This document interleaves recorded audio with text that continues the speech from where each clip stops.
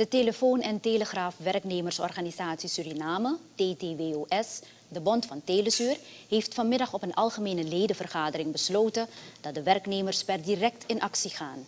De actie houdt in dat het werk wordt neergelegd. Telesuur heeft een schuld van ruim 43 miljoen US dollar en bevindt zich in een kritieke financiële positie. Bondsvoorzitter Harvey Panka geeft aan dat er te lang is gesproken en dat er nu direct actie wordt ondernomen. De mensen zijn lang genoeg stilgebleven.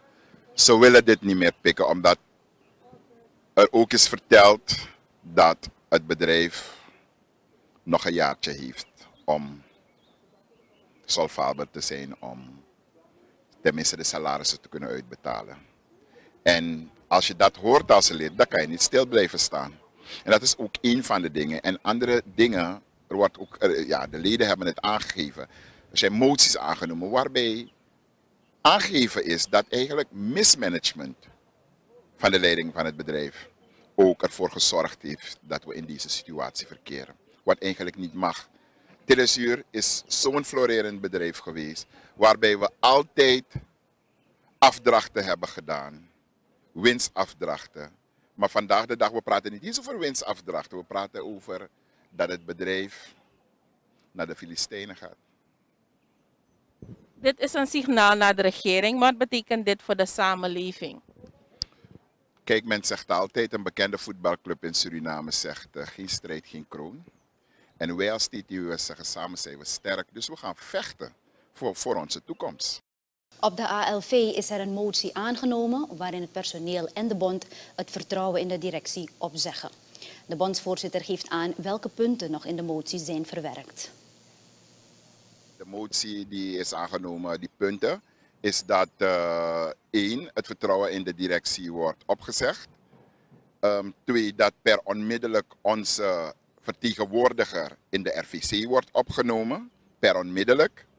Dat wij, um, ja, dat we de gelden die we hebben uitstaan, televisie met een schuld van meer dan 220 miljoen SRD buiten dat tapchimang, de achterdang.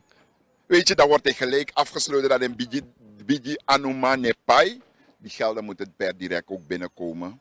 En dat we deze punten onder andere, dat we nadruk daarop leggen middels die, die, die, die, uh, uh, uh, die lamlegging die we gelijk doen. En dat is per direct dat we in actie gaan. En dat de regering, om de eigen pressure te zetten op de regering, dat ze per direct. We hebben genoeg gesproken. We hebben gesprekken gehad, met de president, met de minister. We zijn zo lang bezig.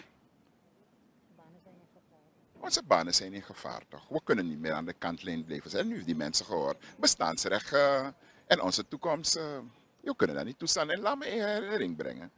Deze bond heeft, is er mede verantwoordelijk voor dat er vandaag de dag een telesuur bestaat. Dat er een decretie 38 is op basis waarvan telesuur is opgericht.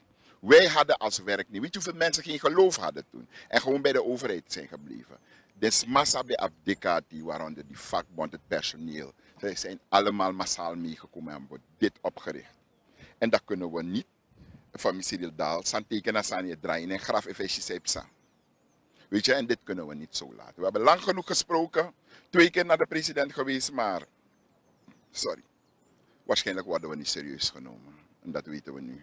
Een correctie op hetgene dat voorheen gezegd is. Hetgene aanduidt dat het bedrijf een schuld heeft van 43 miljoen US dollar. Dat is incorrect. De correctie is namelijk dat het bedrijf een verlies heeft geleden van 43 miljoen US dollar. Alle branches van Telesuur zijn gesloten en de regering heeft eenmaal 24 uur om te reageren. Anders wordt de actie verscherpt.